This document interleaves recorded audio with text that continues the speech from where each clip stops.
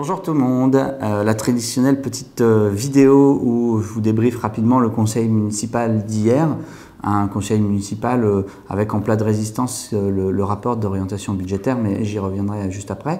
Vous dire qu'en introduction, on a évidemment procédé à un hommage soutenu, appuyé à Jeanne-Marie Watlar, qui nous a quittés en début d'année, et c'est Madame Colette Malbranc, une ancienne agent de la ville qui est partie à la retraite pendant le Covid, euh, malheureusement pour elle, parce que finalement on n'a pas pu organiser de petits pots euh, de départ. Vous êtes nombreux à la connaître, nombreux et nombreuses à la connaître, donc c'est pour ça que je vous le dis. Et c'est Madame Malbranc qui a effectué l'hommage à Jeanne-Marie Watlar, et c'était vraiment un bel hommage émouvant. Je vous invite à aller regarder la vidéo.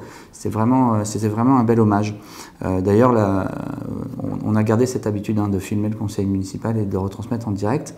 Et vous pouvez consulter le replay sur le, site internet de la ville. Alors, euh, j'ai envie de dire, euh, ne vous en privez pas, même si, bon, évidemment, il faut se faire les, deux bonnes heures de, visionnage si vous avez vu. Mais enfin, on peut, on peut, on, peut saccader, on peut couper, on n'est pas obligé de tout faire en même temps.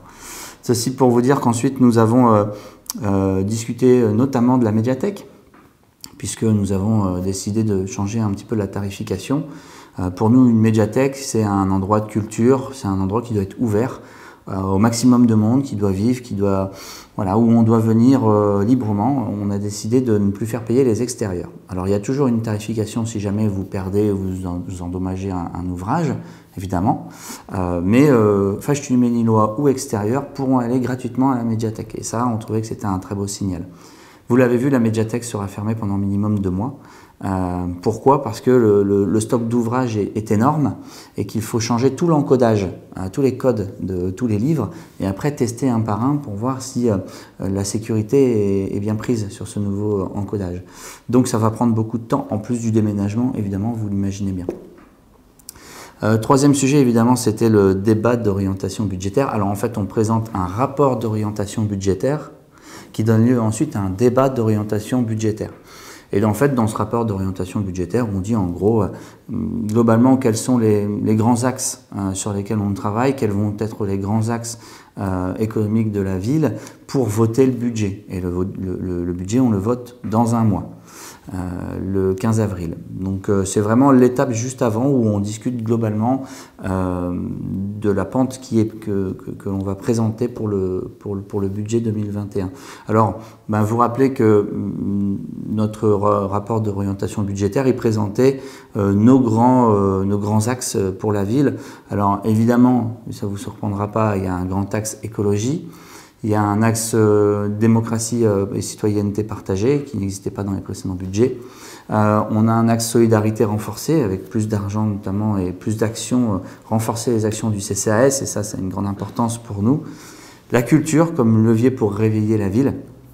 Je l'ai lu en même temps. Hein. La ville, véritable partenaire d'action éducative très important, évidemment. Vous voyez, tout ça, c'est global, évidemment. Hein, je vous fais des points, mais il y a énormément d'interconnexions entre elles pour faire, pour faire prendre tout ça. Et des impôts stabilisés, qui est une chose qui vous intéresse, évidemment. C'était une promesse de campagne de ne pas augmenter euh, les taux aux villes, donc nous n'augmenterons pas les taux, euh, euh, la fiscalité de, la ville. Voilà, vous dire que à la fin du conseil municipal, une fois qu'il était terminé, nous avons procédé au décrochage dans la salle d'honneur du président de la République. Alors, on l'a pas fait parce qu'on est des affreux anti-républicains ou ce genre de choses, parce que sinon on l'aurait fait tout de suite en arrivant.